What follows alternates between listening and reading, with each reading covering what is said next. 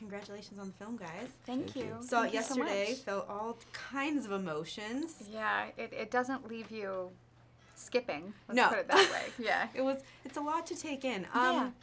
it's being described as a thriller, but how would the two of you describe this story? I like how Tom puts it. It's a cautionary tale. Hmm. Um, it, it it's sort of a yeah. I mean, it definitely has elements of thriller, but it also has um, sort of a like an emotional underscoring that allows you to feel, um, you know, empathetic and attached to the characters. And I, yeah, that's you second perfectly that. put. Yeah. Um, and how would you describe? I mean, you play two characters in the film. You play Susan, of course. Uh, can you describe your characters for us a little bit? I play um, I dual characters in a way. It's, it's it's hard to describe them, but Edward really is um, the uh, writer of the novel that um, Susan is reading in the movie. He sends her a manuscript. They used to be married. He is her ex-husband, and I also play Tony, the main character in the book that Edward's written that Susan is reading, and um, the narrative of the movie really comes from Susan reading that book. And you learn about their relationship, Edward and Susan's relationship, um, through Susan's memory of it while she's reading the book. Yeah, it's true. And I play Susan, who is, as we meet her, an art gallerist who's sort of um, feeling kind of depressed and sort of um, dissatisfied with her life and her choices. And um, she receives a manuscript from her ex husband and begins reading it. And it sort of takes her on a journey through her past and this dark story, and it, it makes her examine her choices. She What might be sad, but she is impeccably dressed. I have to say. Absolutely. It's very Some- true. You, still, you can still be sad and be impeccably dressed. I'm sad, but I'm dressed well. No, I'm kidding. I'm so sorry, It's Jake. like, I had to. we're That into just some happened. Atlanta sound.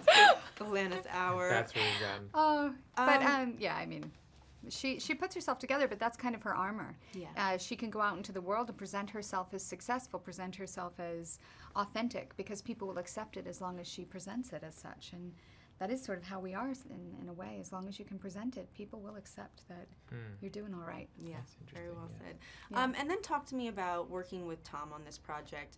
It it's a big undertaking to have three storylines in one film, and he does it beautifully and impeccably. Um, talk to me about working with him and, and what it is about both him as a storyteller and a director that has made this come together so perfectly.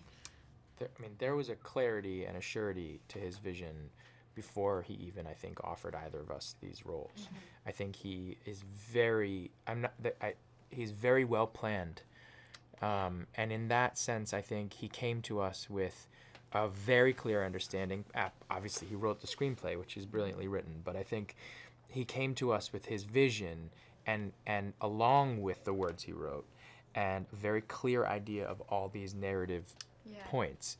And so to work with him is to know that he's done so much work beforehand and you feel like you're in very safe, capable hands of someone who's also very empathetic, who loves human behavior, who really respects actors, who respects the process of actors, but at the same time is extraordinarily specific in terms of how he visualizes Yeah. what he's written. And his specificity is thoughtful. You know what I mean? It's Yes. not just specific to be specific or out of some sort of uh, neuroses. It really is so thought out and so planned. But in that, he allows for us to. He he was able to sort of let go of the characters and allow us to to sort of breathe life into them, and um, sort of um, in a way, I sometimes felt like I was um, Tom.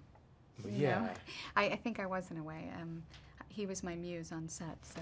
It's funny you say that because I I had this feeling after a while that you know Tom would act out the scenes for me sometimes. Yeah. He would sort of like just he one Yeah. time he like was pounding the ground and weeping, showing I you know uh, showing me the scene He was the so way he had written it. unself-conscious in it. Yeah. Yeah. and I thought this is also Edward and Tony are a real large part of who of Tom him. is as well. Absolutely. I think his presentation sometimes is very much like Susan, but I think inside there's there is a lot happening, a lot of vulnerability and sensitivity, and Mm-hmm. and he is tortured in a lot of ways, and he is also a writer.